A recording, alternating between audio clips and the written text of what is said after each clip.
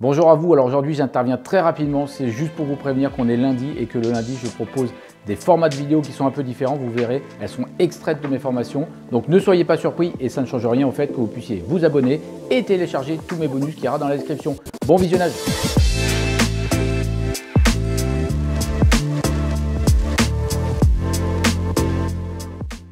Bonjour, bienvenue sur ce cours intitulé Ne pas avoir peur des travaux.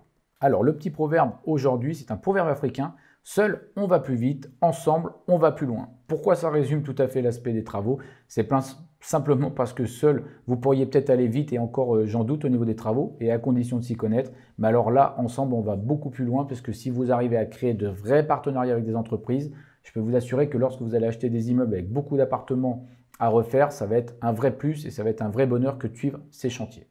Clairement, les travaux sont nécessaires dans une grande majorité de cas, pour ne pas dire dans tous les cas. À la fois pour rénover vos biens, pour faire pratique, beau et efficace, pour apporter une grande valeur à vos biens, ou encore transformer vos biens immobiliers, et aussi pour optimiser votre fiscalité. Vous allez pouvoir ainsi voir les investissements sur le long terme et sur le très long terme. Les travaux, je sais aussi que c'est une partie qui fait peur, une nouvelle fois, dans une grande majorité de cas. Il convient donc de bien les appréhender et de faire en sorte de bien comprendre que vous allez être accompagné et que vous allez mettre des stratégies en place pour être accompagné de mieux en mieux avec des artisans qui vont comprendre exactement ce que vous attendez et qui vont être en mesure de vous livrer des choses en temps et en heure, ou presque, mais en tout cas qui correspondront à vos démarches. Alors, souvent on a peur parce qu'on a du mal à estimer, on a peur du travail réalisé, on a aussi peur des délais, on pense, que, on pense forcément qu'on va se faire avoir sur les devis, on a du mal à comprendre ce qui est compris justement dans un devis, on a peur de la mauvaise surprise. J'insiste en disant que moi-même, j'ai fait pas mal de tests avec des maîtres d'œuvre, des courtiers en travaux. Maintenant, je travaille avec un chef d'entreprise qui chapeaute le tout. Je travaille aussi avec une personne qui ne fait que des devis. Euh, voilà, j'ai vraiment beaucoup d'éléments qui m'assurent une sérénité optimale et j'ai des résultats qui sont absolument très sympathiques. Je vais vous montrer quelques exemples tout à l'heure. Les travaux doivent être tous pris en considération. C'est très important de ne rien oublier, d'où l'intérêt d'avoir une checklist précise et surtout très efficace. Cette liste apportée par un investisseur qui a l'habitude, je peux vous assurer, c'est pas grand chose à faire pour l'investisseur. Enfin, clairement, en tout cas, c'est un outil dont il se sert toujours. Mais pour celui qui débute ou celui qui continue et qui a déjà fait des erreurs, je peux vous assurer que c'est un outil capital. C'est vraiment le meilleur moyen de ne rien oublier pour ne pas avoir de mauvaises surprises et être tranquille pendant des dizaines, voire des vingtaines d'années. Tout prendre en compte dès le début dans l'emprunt. Ça aussi, c'est un point important, puisque si vous prenez en compte tout dès le départ, vous n'aurez pas d'excédent de trésorerie à sortir quelques années après et vous serez tranquille pour des dizaines d'années une nouvelle fois. Ce point, il est très important, il est capital. Vous devez voir sur le long terme et vous devez voir la sérénité. N'oubliez jamais que 10 000 euros dès le départ, en ce moment, au moment où je vous parle, ça représente environ 60 par mois si on considère un emprunt immobilier avec les taux d'intérêt actuels sur une vingtaine d'années. Donc, qu'est-ce que c'est que 60 euros par mois alors que euh, ça va vous permettre d'apporter de la valeur? Par contre, qu'est-ce que c'est que 10 000 euros que vous allez devoir sortir dans deux ou trois ans alors que vous n'aurez pas commencé à vous constituer une trésorerie ou qu'elle ne sera pas du tout utile pour ça, euh, elle vous sera utile pour beaucoup d'autres choses? Donc attention, les travaux sont bien pris en considération dès le départ. Pensez aux meubles. Alors ça, c'est un point qui revient très souvent. Alors je sais qu'à l'heure actuelle, il y a des sociétés qui vont vous permettre d'obtenir les meubles euh, sous certaines conditions et vous pourrez peut-être même obtenir le financement via cette société. Moi, je travaille d'une toute autre manière, mais par contre, j'anticipe toujours la valeur des meubles dans l'immobilier meublé de manière à ce que ce soit la banque qui me prête l'argent. N'hésitez pas à prendre un emprunt plus large au départ. Il y a vraiment des stratégies, euh, je vais vous en parler tout à l'heure. C'est important pour se faire financer les meubles de prendre un emprunt plus large. Personnellement, je fais monter les devis de départ pour qu'ensuite je puisse débloquer les fonds pour acheter les meubles et les faire monter. Par exemple, à l'aide d'un devis peinture élevé. Je donne cet exemple très simple, je ne peux pas entrer dans les détails, mais je vais vous donner cet exemple.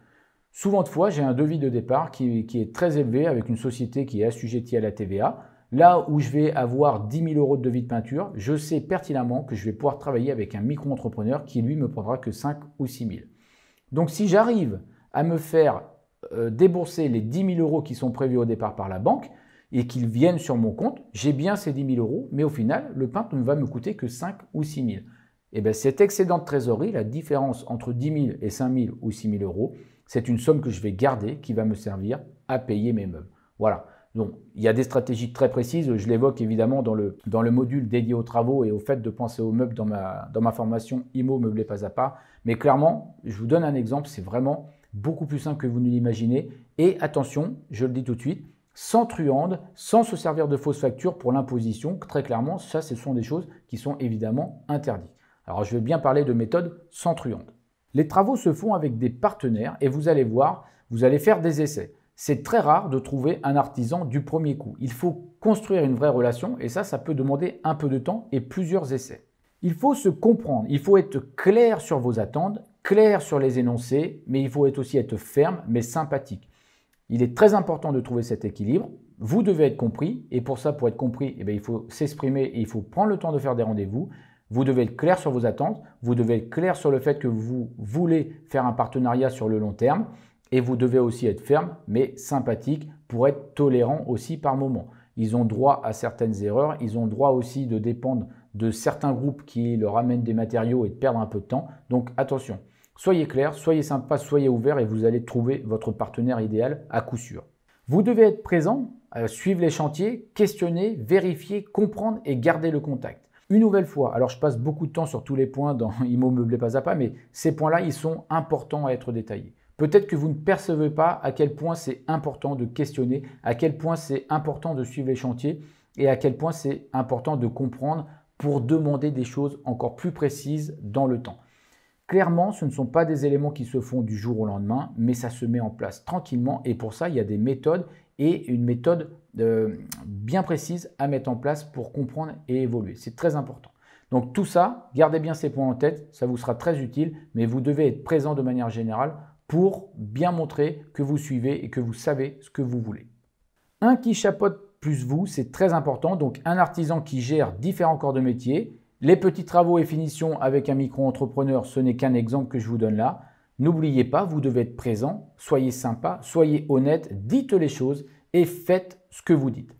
Ce dernier rectangle, il est très important sur ce schéma puisque ce sont cinq points qui doivent être qui doivent résumer votre comportement et qui vont surtout être une rampe de lancement pour créer vos partenariats. Vous-même, vous savez pertinemment que vous n'avez pas envie de travailler avec des personnes pénibles, qui vont être râleuses et qui en plus ne vont pas être honnêtes. Donc soyez la personne contraire et soyez la personne avec qui vous avez envie de travailler. C'est très important. Quand je vous dis ici les petits travaux de finition avec micro-entrepreneurs, alors attention, c'est une manière large de parler.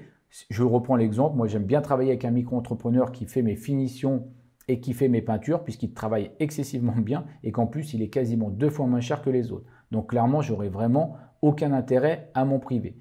D'autre part, pourquoi un micro-entrepreneur plutôt sur ces travaux de finition? Simplement parce que quand on débute, c'est quand même intéressant d'être avec des entreprises assujetties à la TVA pour vos travaux, de manière à vérifier qu'ils ont bien une décennale. Il existe des micro-entrepreneurs qui ont des décennales, bien évidemment, mais euh, clairement, c'est beaucoup plus rare. Donc faites attention dans cette supervision. Vous devez travailler avec des entreprises qui sont capables de vous couvrir pendant 10 ans. Ça, c'est vraiment très, très, très important. Les travaux sont une composante très importante en immobilier. Vous devez trouver vos partenaires et je vous le rappelle, ceci ne se fera pas du premier coup. Personnellement, j'ai testé diverses solutions avant de trouver ce très bon compromis entre entreprise, peintre en micro-entreprise, plus cuisiniste. Maintenant, ils se coordonnent à merveille et ce sont en plus tous devenus des amis. Il y a même le peintre qui va travailler dans la plus grosse entreprise alors qu'ils ne se connaissaient pas avant qu'il y ait cette mise en relation. Clairement, pour résumer ça, moi je fonctionne à coup de texto et à coup de suivi sur les chantiers et ça se passe très bien. Comment envisager l'ensemble des travaux? Eh bien tout simplement comme si vous vouliez être tranquille pendant 20 ans, pendant 30 ans ou pendant 50 ans. Dites bien que vous voulez être serein, surtout pas d'économies qui n'en sont pas au final. N'allez pas me faire une économie entre guillemets idiote sur un robinet ou sur une chose comme ça qui va dégrader votre bien en cas de pépin. Clairement, il y a des économies qui sont intéressantes et il y a tellement de choses à anticiper dans l'immobilier pour gagner de l'argent qu'il ne faut surtout pas aller faire une économie sur du matériel pendant les travaux. Si l'artisan vous a dit que c'est tel ou tel produit qu'il faut mettre, même s'il coûte 10, 15 ou 20% plus cher, c'est qu'il a des raisons et c'est que lui, il a envie aussi d'être serein et de ne pas faire un service après-vente. Donc faites confiance aussi aux artisans qui sont habitués à travailler avec certains types de matériaux et vous allez y gagner énormément sur le long terme. Vous devez aussi envisager les travaux pour faire du beau, du moderne et du solide. Solide rime avec logique, un carrelage au rez-de-chaussée par exemple. Alors pourquoi je dis que solide rime avec logique? Simplement une nouvelle fois pour pas aller faire des économies qui n'en sont pas sur un petit matériel. Et en plus, vous pouvez effectivement faire preuve de logique.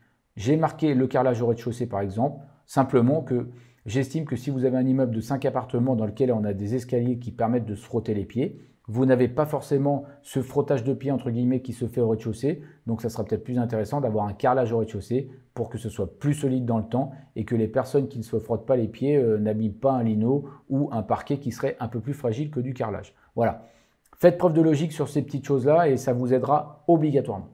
Je vous propose des exemples de photos de biens immobiliers. Donc vous voyez là, c'est un appartement sur lequel on a un lino qui a été fait devant la cuisine. Donc vous voyez, une cuisine, travailler avec un cuisiniste. Bon, on peut voir des petits couacs évidemment, et hein. je dois aussi moi conseiller le rapport qualité-prix et des fois financier. Donc j'avais pas du tout envie ici d'encastrer un frigo ou d'encastrer un micro-ondes, c'était un choix, j'ai énormément gagné. Ça c'est le type de cuisine qui a dû me revenir à équiper à 2600 euros peut-être, 2500 euros. Vous avez aussi euh, les choses qui sont faites par un cuisiniste, donc ça ne se voit pas, mais on a des choses qui sont mises ici dans l'angle, donc ça c'est très intéressant. Donc vous voyez, on a euh, logique, hein, on a des choses qui sont logiques. Je mets un lino pour éviter euh, les sursauts d'huile par exemple, pour que ça tombe sur le lino et que ce soit plus facile à nettoyer. Et là, vous avez un parquet à côté qui a été traité et travaillé et aussi vitrifié pour être protégé. Un autre exemple de cuisine, donc vous voyez une entrée palière en carrelage avec accès à la salle de bain. Et ici, on est sur un parquet refait avec une nouvelle fois ce lino. Donc là, il s'agit du même immeuble que celui que vous venez de voir. Donc là, ce n'était pas tout à fait fini, mais vous voyez, on a euh, ces petites finitions par le cuisiniste qui sont sympas. Plutôt que de ne rien avoir, il a réussi à me caler un petit meuble gratuitement, qui est intéressant pour mettre un petit peu de sel, de poivre ou autre chose. Une nouvelle fois, donc la cuisine sous un autre angle, vous voyez hein, le matériel. J'ai gardé cette cage pour, euh, j'en ai profité. Ici, j'ai gardé l'espace rangement. Je me suis permis de garder cet espace pour loger le micro-ondes et le frigo ici. Donc ça, j'ai trouvé ça plutôt intéressant. Ça a laissé un bel espace pour la cuisine. Donc un nouveau modèle, un studio mansardé. Là, vous voyez, euh, on a réussi à intégrer un, îlot central très simple, séparer potentiellement euh, l'espace chambre avec un rideau qui a été modifié depuis d'ailleurs, qui est beaucoup plus euh, épais et qui glisse sur une rampe ici. Donc ça c'est intéressant parce que là on a une vraie séparation d'espace chambre. Aussi vous voyez c'était une ancienne étagère, là c'était vraiment mes premiers investissements. Donc je faisais des choses qui demandaient certainement à être mieux faites ou améliorées. Mais en tout cas, voilà, on commence toujours d'une certaine manière et ensuite on améliore. Un autre exemple, alors là aussi, euh, quasiment euh, dans mes premiers investissements. Alors mine de rien, on ne se rend pas compte, mais moi j'avais décidé de garder la tomate ici, je trouvais ça sympa et euh, j'avais un petit budget sur cette maison. Mais en tout cas, en rénovation, il faut s'imaginer que cette cloison n'existait pas. Elle a permis d'être créée pour ici faire un toilette qui n'existait pas au rez-de-chaussée, il n'y en avait qu'un à l'étage. Donc là, c'était quand même capital d'avoir un toilette ici. Vous avez un espace cuisine qui a été là et vous avez un étage. Au tout, cette maison fait quand même euh, une centaine de mètres carrés, donc vous voyez que c'est loin d'être négligeable. Ici, vous avez un espace avec une cheminée et un insert, donc c'est très sympa. Et ça permet aussi d'envisager une revente qui sera plutôt agréable. Donc là, j'ai pris les photos, le locataire en place, hein, ce n'est pas lui, lui c'est le compagnon du locataire. Mais en tout cas, euh, sachez juste que euh, voilà, il a été bien sympa de me laisser faire les photos après. Et c'est un garçon qui a d'ailleurs très très bien entretenu cette maison au passage. Un autre exemple, euh, un investissement pareil, dans mes premiers investissements, ici une salle de bain qui a été rénovée de manière alors très très simple, on a juste ajouté ce point-là et ce point-là, donc la glace et ce petit meuble. La cabine de douche, on avait juste repris les parois et on avait optimisé aussi la VMC qui est au-dessus, il y a un petit comble au-dessus et vous avez un espace toilette à droite. Vous remarquez aussi que le parquet a été changé et qu'on s'est permis de mettre un parquet avec un espace laine de roche dessous, de manière à ce que ce soit beaucoup moins gênant pour le voisin qui est au-dessous. Donc ça, c'est des petites astuces, ça se faisait beaucoup à l'époque, un peu moins maintenant, mais de mettre un peu de laine de roche sous les parquets quand c'est possible, entre des poutres par exemple, ça permet vraiment de diminuer les bruits de pas et c'est très sympa pour ceux qui sont au-dessous, ça évite d'entendre euh, un surplus de bruit. Une nouvelle fois, une salle de bain qui a été refaite, vous voyez, entièrement faïencée, avec un sèche-serviette, avec aussi euh, bah, la vase, que la glace qui été amenée, on a une petite lumière au-dessus, l'espace toilette et l'espace euh, douche. Donc là, c'est difficile à voir, mais c'était une toute petite salle de bain dans laquelle on a réussi vraiment à optimiser l'espace. C'est juste pour vous donner une nouvelle fois des exemples. Donc conclusion, vous l'avez vu, je vous donne quelques exemples. C'est toujours intéressant d'avoir du visuel et de voir aussi un petit peu ce qu'on peut obtenir en rénovant de manière au final très simple. Donc les travaux sont une composante importante. Vraiment, j'insiste, mais apporter de la valeur à vos biens immobiliers, ça fait une grande différence et ça doit être une obsession pour vous. Les artisans doivent devenir de vrais partenaires sur le long terme et vous devez apprendre à trouver ces partenaires. Il va falloir faire des tests et cela vient avec le temps. Ça vient avec le temps et avec vos actions. Vous allez même combiner entreprise, micro-entreprise et vous allez voir pour le long terme. Faites bien tous les travaux dès le départ, n'en laissez pas de côté puisque après ça va vous coûter en effort de trésorerie et ce sera un moment pénible. Jouez serein, jouez bien la carte de je fais tous les travaux dès le départ. Comme ça, tout sera pris en compte dans l'emprunt.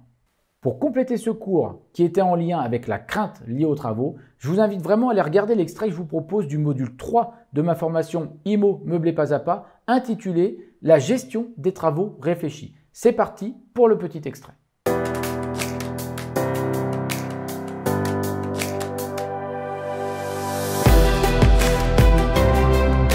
Donc c'est plus du tout le même travail puisqu'il va falloir creuser, il va falloir faire en sorte de mettre ces poutres de manière solide. Avoir en tête cette liste beaucoup plus générale, ça va vous aider de toute manière dans toutes les situations.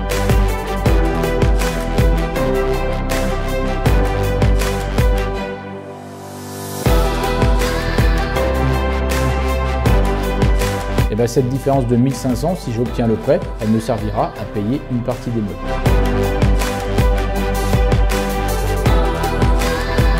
Vous allez finir par trouver ce bon équilibre qui va vous assurer cette sérénité sur le long terme.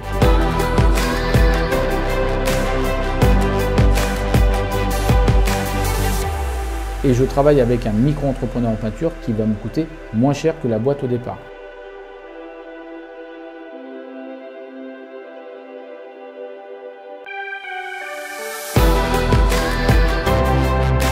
Commencez maintenant, pas demain. Demain est une excuse de perdre. Leur commission, clairement, ça sera dérisoire. Vous ne le verrez même pas passer sur le montant des travaux.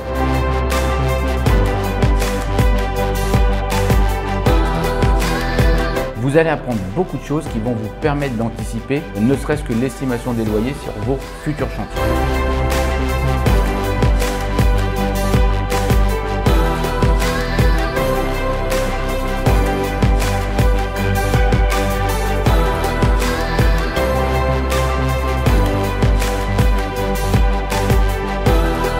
À discuter avec l'artisan, si vous souhaitez absolument prendre en compte, ça peut être effectivement très intéressant.